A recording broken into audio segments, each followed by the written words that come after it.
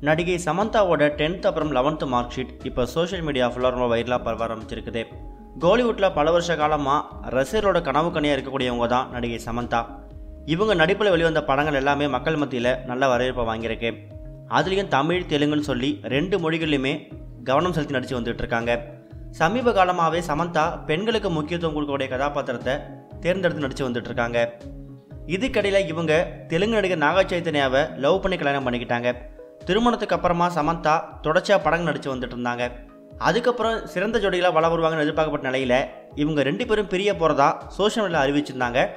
அதுக்கப்புறம் எக்கச்சக்கமான சர்ச்சைகளும் வதந்திகளும் வந்துட்டு தான் இருக்குது இப்படி இவங்க ரெண்டு பேரும் பிரிஞ்சு வாழ முடிவு செஞ்சதுக்கு அப்புறமா படங்களை கவனம் செலுத்தி நடித்து வராங்க. பிரிவுக்கு அப்புறம் சமந்தா அவங்க பல படங்களை கம்மிட் ஆயிருக்காங்க.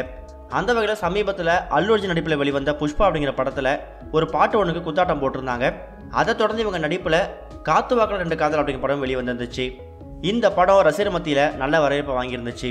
அதுக்கப்புறம் சமந்தா அவங்க த்ரில்லர் கதைக்களம் கொண்ட யசோதா குஷி ஹாலிவுட் படம்னு சொல்லி எக்கச்சக்கமான படத்தை நடிச்சு வந்துட்டு இருக்காங்க. அதுலேயும் சமீபத்தில் சமந்தா நடிச்சருடைய சாகுதலம் படத்தோட போஸ்டர் வந்து வெளிவந்துருந்துச்சு. இந்த படத்தை வந்து குணசேகர் அப்படிங்கிற இயக்கியிருந்தாரு. இந்த படத்தை ரிலீஸ்க்காக ரசிகர்கள் அவராக காத்துட்டு இருக்காங்க. சமீபத்தில் நடந்த காப்பி வித்துக்காரன் அப்படிங்கிற நிகழ்ச்சியில் சமந்தா கலந்துக்கிட்டாங்க. அப்போ அவங்கக்கிட்ட நாக சைத்தன்யாவோட விவகாரத்தை பற்றி பல விஷயங்களை கேட்டிருந்தாரு. அது மட்டும் இல்லாமல் அவங்க ரெண்டு பேரும் திருமணத்துக்கு அப்புறமா சேர்ந்து வாழ்ந்த வீட்டை சமந்தா வந்து பெரிய தேவை கொடுத்து இப்போ ரீசெண்டாக வாங்கிட்டாங்களாம். சமந்தா ஹிந்தியில் மூணு படங்கள் கமிட்டாக இருக்காங்க. இந்த நிலையில் சமந்தாவோட ஸ்கூல் டைம் மார்க் ஷீட் ஒன்று இப்போ சோஷியல் மீடியா ஃபுல்லாக வள வந்துட்டுருக்கு. நடிகை சமந்தா சென்னையில் பிறந்து வாழ்ந்தவங்க அப்படிங்கிறது நம்ம எல்லாருக்குமே தெரியும். அவங்க பல்லாவரம் பகுதியை சேர்ந்தவங்க அப்படிங்கிறது அவங்களே சொல்லியிருக்காங்க. அந்த வகையில் சென்னையில் இருக்கக்கூடிய ஒரு பிரபலமான ரெண்டு ஸ்கூலில் சமந்தா படிச்சிருக்காங்க.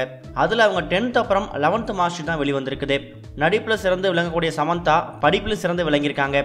அது மட்டும் இல்லாமல் டென்த்தில் அவங்க ஆயிரத்துக்கு எட்நூற்றி எண்பத்தேழு மார்க் எடுத்து வந்திருக்காங்க. அதே மாதிரி லெவன்த் டுவெல்த்துலையுமே நல்ல மார்க் தான் வாங்கியிருக்காங்களாம். அந்த ப்ராக்ரஸ் ரிப்போர்ட்டில் அவங்களுக்கு பாடம் எடுத்துக்கக்கூடிய ஆசிரியர்களும் இவங்களுக்கு நல்ல விதமான ஒரு நன்னடத்தை சான்றிதழும் கொடுத்துருக்காங்க. அதில் அவங்க என்ன ரிமார்க் கொடுத்துருக்காங்கன்னா சமந்தா வந்து ரொம்ப சூப்பராக படிக்கிறாங்க. அவங்க ஒர்க்கும் அவங்க கரெக்டாக பார்க்குறாங்க எங்கள் ஸ்கூலுக்கு ஒரு மிகப்பெரிய சொத்து அப்படின்னு சொன்னால் அது சமந்தா தான் அப்படின்னு சொல்லிட்டு இங்கிலீஷில் வந்து கைப்பட எழுதி இந்த ப்ராக்ரஸ் ரிப்போர்ட்டில் ரிமார்க்கும் கொடுக்கப்பட்டிருக்கு.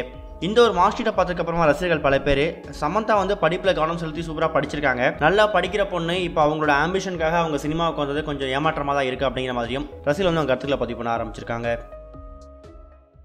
இது வரைக்கும் கனெக்டிங் டிவிக்கு சப்ஸ்கிரைப் பண்ணனா மறக்காமல் சப்ஸ்கிரைப் பண்ணிக்கங்க. உடனடி அப்டேட்ஸ் பெறுவதற்கு நோட்டிஃபிகேஷன் பெல்லையும் கிளிக் பண்ணிக்கங்க.